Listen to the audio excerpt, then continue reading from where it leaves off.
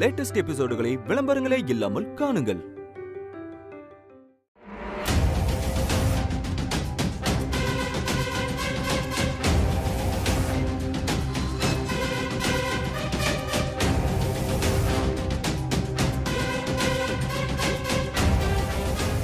எல்லா டாக்குமெண்ட்ஸ்லையும் சைன் பண்ணிட்டேன். ஓகே மேடம்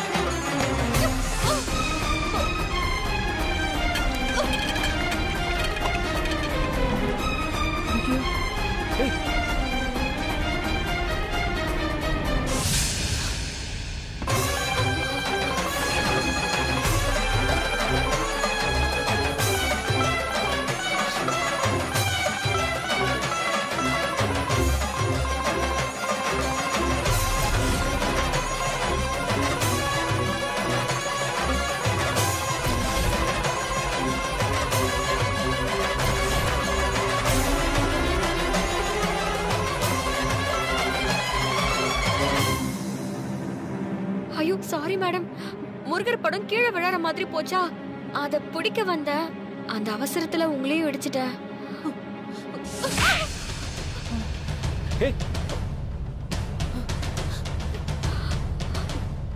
சிவகாமி என்ன உனக்கு கை நீளுது? இப்ப நீ எதுக்கு அன்பு அடிச்ச? எதுக்கு அடிச்சனா? என்ன பண்ணிருக்கா பாருங்க. ஒரு நல்ல காரியம் நடக்கும்போது அபசகுன மாதிரி எல்லாத்தையும் நாசமாக்கிட்டா. அதான் கோவத்துல அடிச்சேன். இப்ப அவ பண்ணது அபசகுணம் இல்ல.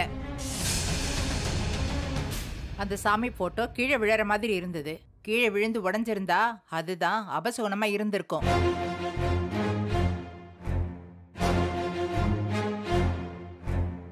சொல்ல போனா அந்த ஃபைல்ல சைன் பண்ணும்போதே அந்த பேனா எழுதல.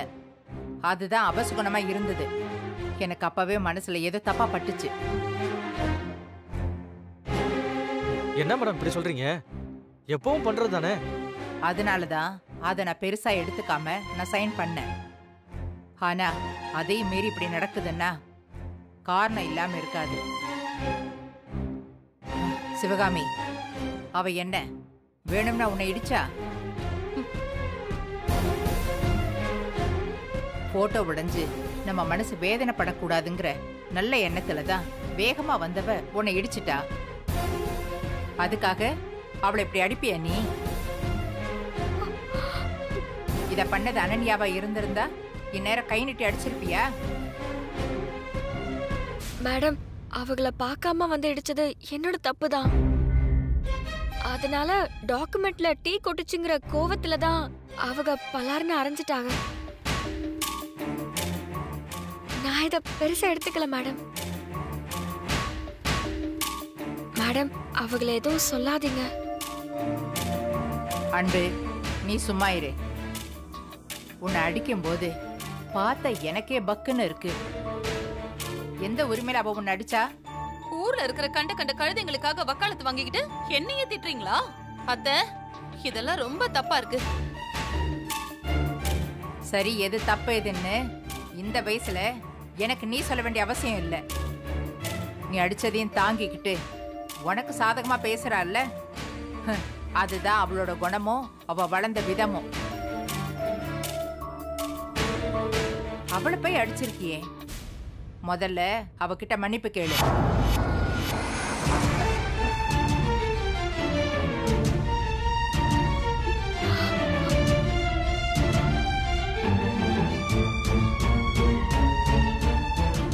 என்ன அன்பரசியம் முறைச்சுக்கிட்டே இருக்க? அம்மா சொன்னது காதுல விழல. அன்பரசி கிட்ட மன்னிப்பு கேளு. அதெல்லாம் எதுவும் வேண்டாம் சார். மன்னிப்பெல்லாம் கேட்க வேண்டாம். அன்பு உன்னை சும்மா இருன்னு சொன்னேன். அவ உன்கிட்ட மன்னிப்பு கேட்டுதான் ஆகணும்.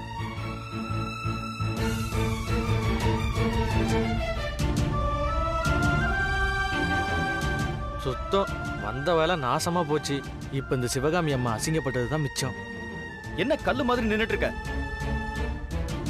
மன்னிப்பு கேளுன்னு சொன்ன காதுல விழ உனக்கு? அன்பு கிட்ட மன்னிப்பு கேளு. வேண்டாம் சார்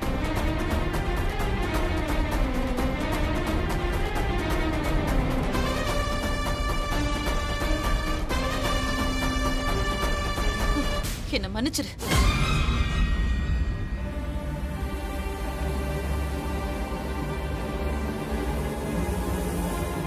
இன்னொரு நாள் டாக்குமெண்ட்ஸ் எல்லாம் ரெடி பண்ணிட்டு வாங்க. நான் சைன் பண்ணி கொடுக்குறேன். சரிங்க மேடம் இன்னொரு நாள் டாக்குமெண்ட் ரெடி பண்ணிட்டு வரணுமா? வாங்கின காசுக்கு அந்த ராஜவேலிட்ட என்ன சொல்ல போறேனே தெரியல. சரி போவோம். பார்த்துக்கலாம்.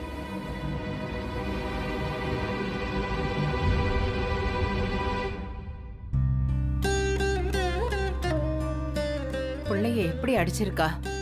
இதே அவ பிள்ளையா இருந்தா இப்படி கை நீட்டி அடிச்சிருப்பாளா? மேடம் எனக்கு ஒண்ணும் இல்ல மேடம்.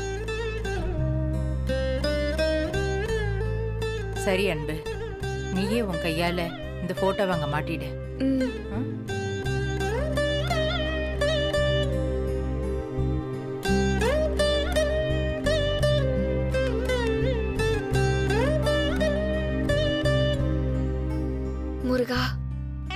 காரணமா வச்சு மேடம் கையெழுத்து போட்ட டாக்குமெண்ட் எல்லாம் ஒன்றும் இல்லாம பண்ணிட்டேன்.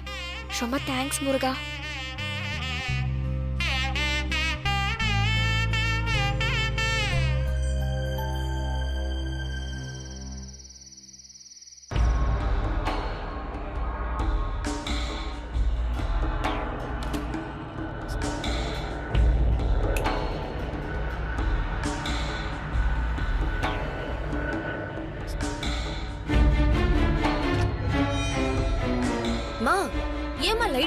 போடாம இப்படி இருட்டுல உட்காந்துட்டு இருக்க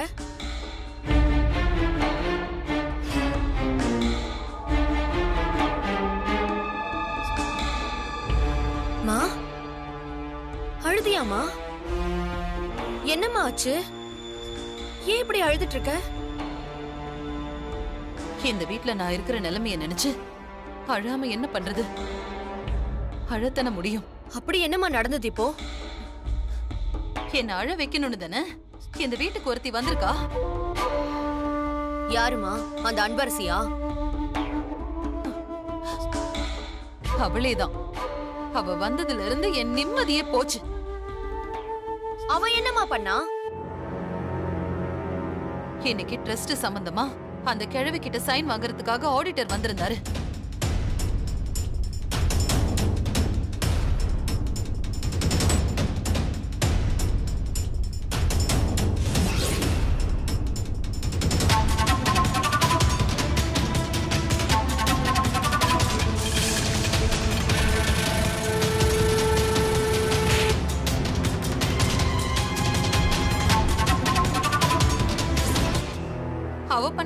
தப்புக்காக தானே நான் அவளை அடிச்சேன்? அதுக்கு அந்த கிழவியும் உங்க அப்பாவும் சேர்ந்துக்கிட்டு அவகிட்ட போய் என்ன டார்ச்சர் பண்ணி அந்த வேலைக்காரி கிட்ட என்ன மன்னிப்பு கேட்க வச்சுட்டாங்க.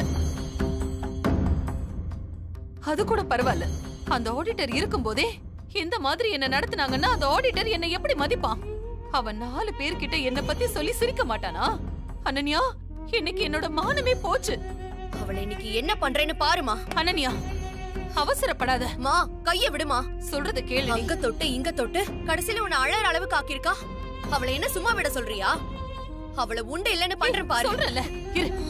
இப்ப நீ போய் அவளை என்ன பண்ணாலும் என்ன ஆக போகுது? வரைஞ்சு கட்டிக்கிட்டு உங்க அப்பாவும் அந்த கிழவியும் அவளுக்கு சப்போர்ட் பண்ணிக்கிட்டு வந்து நிப்பாங்க. அப்புறம் அவளை ஒண்ணுமே பண்ண முடியாம போயிடும். அதுக்காக அவ டார்ச்சர் கொடுத்துக்கிட்டே இருப்பா. நம்ம பொறுத்து போயிட்டே இருக்கணுமா? இல்ல அனன்யா. அவளை அடிக்கணும். ஆனா நாம தான் அவளை அடிக்கிறோம்னு தெரியாம அவளை அடிச்சு துரத்தணும். மா அவ வீட்ல மட்டும் இல்லம்மா. என் காலேஜ்லயும் விஸ்வா விஷயத்திலயும் நிறைய தொல்லை கொடுத்துக்கிட்டே தான் இருக்கா. இதுக்கெல்லாம் சேர்த்து வட்டியும் முதலுமா ஏதாவது செய்யணுமா?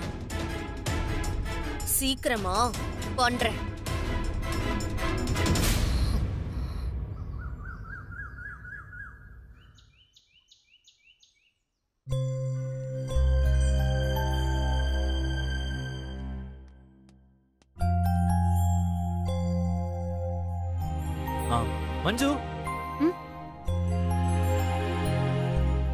Morning sir. Good morning.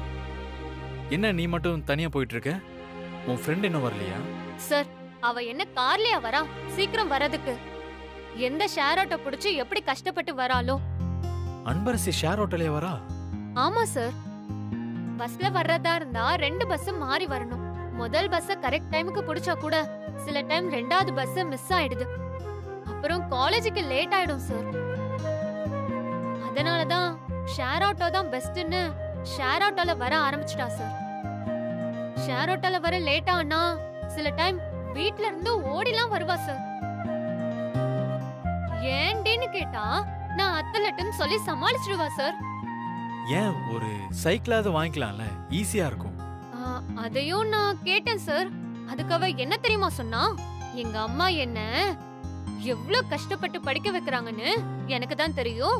இதுல சைக்கிள்லாம் கேட்டா அவங்கள கஷ்டப்படுத்த விரும்பலன்னு சொல்லிட்டா சார். நான் சென்னைக்கு படிக்க வந்ததே பெரிய விஷயம்னு சொல்றா சார். சார் அவ ஃபேமிலி பேக்ரவுண்ட் தான் உங்களுக்கே தெரியுமே சார். ஒரு டீ குடிக்கணும்னாலே ஆயிரம் வாட்டி யோசிக்கிறா சார். இதெல்லாம் பாக்குறப்ப சில டைம் எனக்கே கஷ்டமா இருக்கும் சார். ரொம்ப பாவம் சார் அவ. சரி மஞ்சு. நீ போ. Okay sir.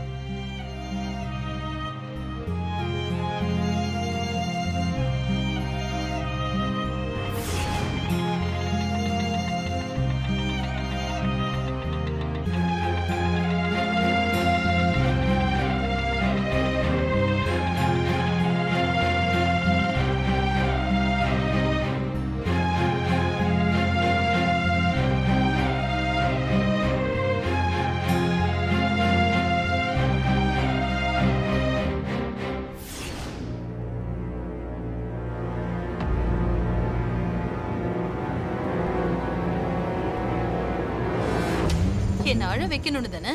இந்த வீட்டுக்கு ஒருத்தி வந்திருக்கா? அவ வந்ததுல இருந்து என் நிம்மதியே போச்சு. ஏ உட்காருங்க உட்காருங்க உட்காருங்க. உட்காரு. என்ன இன்னைக்கு? கிளாஸ் ரூம்ல தான் ஸ்ட்ரென்த்தே இல்ல. எல்லாரும் கேண்டீன்ல இருப்பீங்கன்னு பார்த்தா இங்கே கூட்டத்தை காணோமே.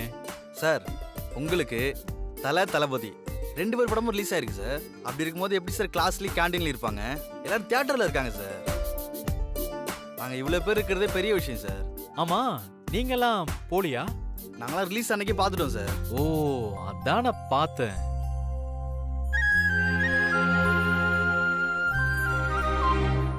ஆமா.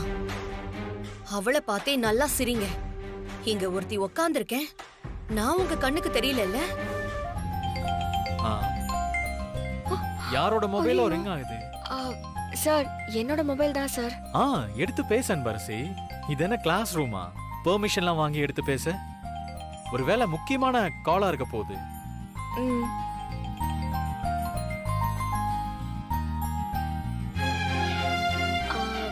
சார் இது அம்மா நம்பர் இல்ல சார். நான் அப்புறமா கால் பண்ணி யாருன்னு கேட்டுக்கிறேன். பரவாயில்ல. ஏதாவது முக்கியமான விஷயமா இருக்கலாம்ல. அட்டன் பண்ணி பேசு. ஹலோ? ஹலோ யாரு அன்பரசியா?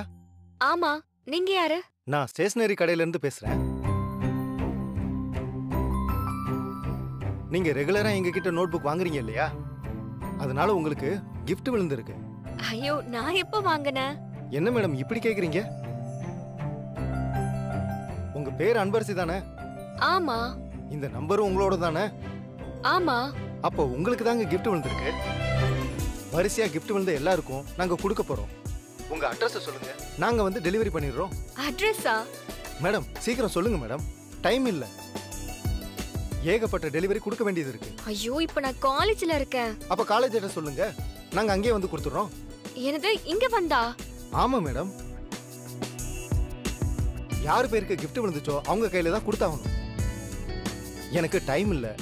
உங்க அட்ரஸை மறக்காம இந்த நம்பருக்கு மெசேஜ் பண்ணிருங்க ப்ளீஸ் நான் அங்க வந்து உங்களுக்கு கால் பண்றேன். ஓகே மேடம் தேங்க்யூ ஆ. அன்பரசி? என்னாச்சு? சார் நான் வாங்கின நோட் புக்குக்கு gift விழுந்திருக்குன்னு சொல்றாங்க சார். ஆ நல்ல விஷயம் தானே? அதுக்கு ஏன் இவ்வளோ கன்ஃபியூஸ்டா இருக்க? இல்ல சார். அந்த நோட் புக்கை நான் எப்ப வாங்கினேனே தெரியல சார் ஆ, வாங்காமலே gift எல்லாம் கொடுப்பாங்க. ஆ, சரி gift என்னவா இல்ல எப்ப வாங்கினேங்கிற குழப்பத்துல இருந்தேனா? அதனால நான் கேட்கல சார் இந்த கிஃப்ட போய் வாங்கணுமா இல்ல? இல்ல சார் காலேஜ் அட்ரஸ் சொன்னா இங்கேயே கொண்டு வந்து கொடுத்துறேன்னு சொன்னாங்க. ஆ அப்ப அட்ரஸ் சென்ட் பண்ண வேண்டியதானே? பண்ணு. ம் சரிங்க சார்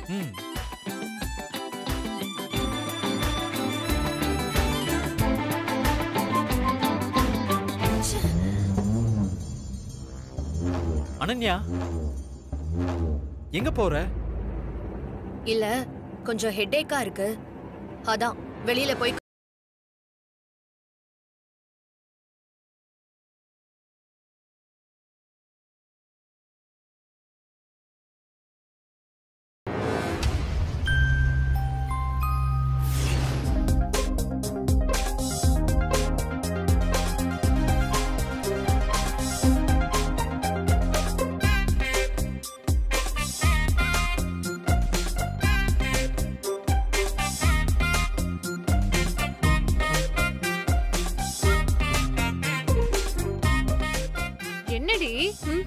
கலாய்க்கலாம்னு சொல்லிட்டு gift எல்லாம் கொடுக்கறேன்னு சொல்லி ஏமாத்திட்டாங்களா? நம்மளும் ரொம்ப நேரமா நின்னுட்டு இருக்கோம் ஒருத்தரையுமே காணுமே. எனக்கும் அப்படிதான் தோணுது. ம். காலையில போன் வந்தப்பவே எனக்கு சந்தேகமா தான் இருந்துச்சு. விஸ்வா சார் சொன்னாருன்னு தான் இப்பவும் நின்னுட்டு இருக்கேன் ம். சரி உனக்கு கால் பண்ண நம்பர் உன்கிட்ட இருக்குல்ல? அதுக்கு கால் பண்ணி கேளு.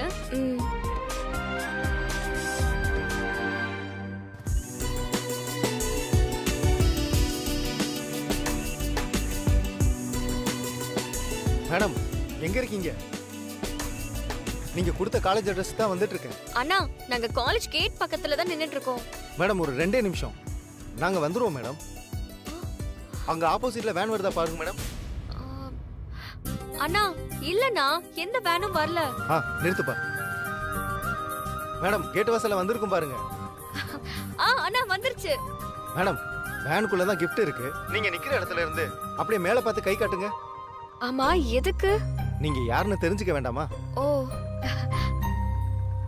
ஆ மேடம் பார்த்துட்டேன் மேடம். ஆ ஓகேண்ணா. வாங்க. வண்டியை திருப்புப்பா.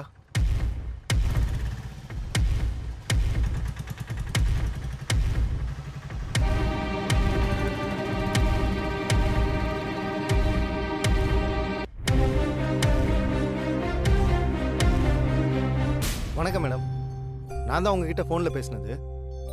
உங்களுக்கு கொடுக்க வேண்டிய கிஃப்ட்டு வண்டியில் இருக்கு மேடம் என்னவா இருக்கும்?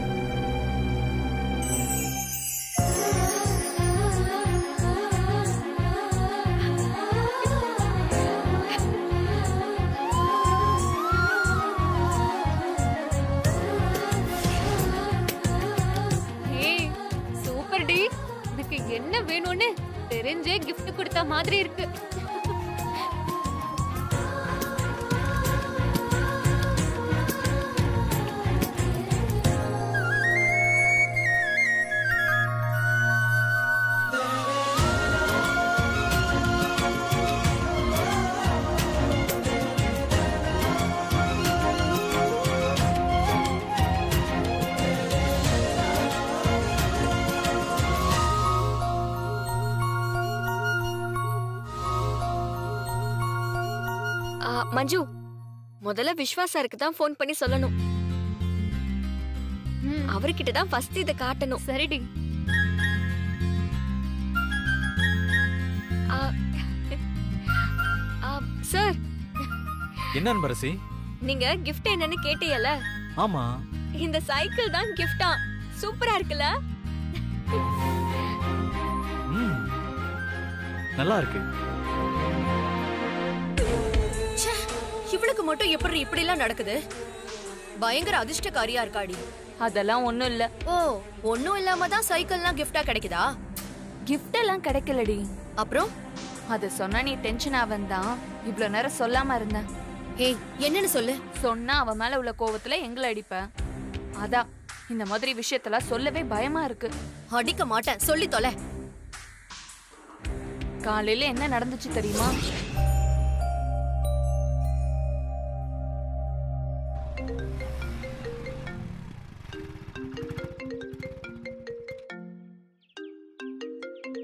ஐயோ இவனா? ஹலோ? டே குமரா நான் ஒன்னு சொல்லுவேன். என்ன ஏதுன்னு கேட்காம செய்யணும். ஓகே? அது கொஞ்சம் ரிஸ்க் ஆச்சே மச்சான். அப்ப நீ எந்த ஆணியும் புடுங்க வேணா போன வை. டே டே டே இருடா. என்னன்னு சொல்லு செய்றேன். இங்க பாரா நான் புதுசா ஒரு லேடி சைக்கிள் வாங்கி தரேன். டேய் எனக்கு எதுக்குடா லேடி சைக்கிள் வெயிட்லெஸ் ஆயிடும்னு சொல்லிட்டு தான்டா நான் சைக்கிளே ஓட்ட மாட்டேன். நீ லேடி சைக்கிள் வாங்கி தரேங்கிற? டேய் சொல்றத முழுசா கேளுடா. சரி சொல்லு. அந்த சைக்கிளை நீ ஏதாவது ஒரு ஐடியா பண்ணி அன்பரசி கிட்ட சேர்க்கணும்.